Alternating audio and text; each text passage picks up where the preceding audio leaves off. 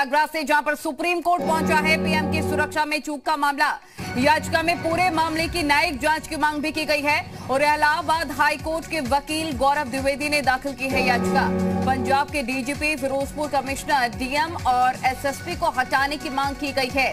फिरोजपुर दौरे के दौरान पीएम के काफिलों को प्रदर्शनकारियों ने रोका था और पीएम को कार्यक्रम रद्द करके वापस लौटना पड़ा था। अब ये मामला सुप्रीम कोर्ट पहुँच चुका है। पीएम की सुरक्षा में चूक का ये पूरा मामला। मोहम्मद गुफरान जी मीडिया रिपोर्टर तमाम जानकारी के साथ जुड़ गए। मोहम्मद गुफरान, पंजाब सरकार के खिलाफ सख्त एक्शन लेने की मांग की गई है। सुप्रीम कोर्ट पहुँच चुका है पीएम की सुरक्षा में चूक का मामला। क्या जानकारी?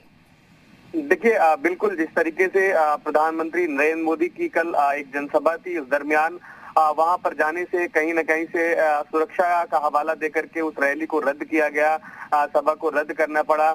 सुरक्षा का एक सबसे बड़ा कारण रहा, जिसमें प्रधानमंत्री ने खुद एक बड़ी टिप्पणी की थी। ऐसे में अब इस पूरे मामले को लेकर के इलाहाबाद हाईकोर्ट के अधिवक्ता गौरव द्विवेदी हैं।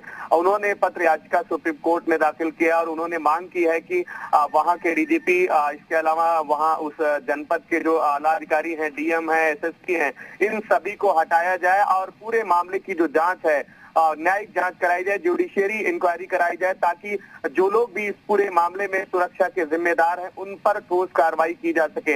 निश्चित तौर पर जिस तरीके से ये मामला सामने आया है उसके बाद से लगातार सियासी बयानबाजी जो है वो भी तेज हुई है। हम्म। खुद सीएम जो है पंजाब के उन्होंने भी इस बात को माना है कि कहीं ना कहीं से गलतियाँ हुई हैं। हालाँकि उन्होंने इसको सियासी नज़रिए से भी देखने की कोशिश की है लेकिन जिस तरीके से इस पूरे मामले को लेकर के बीजेपी से लेकर के जो याचिका में साफ़ कहा भी गया है कि ऐसी घटना दोबारा ना हो इस लिहाज से भी ये कार्रवाई होनी चाहिए।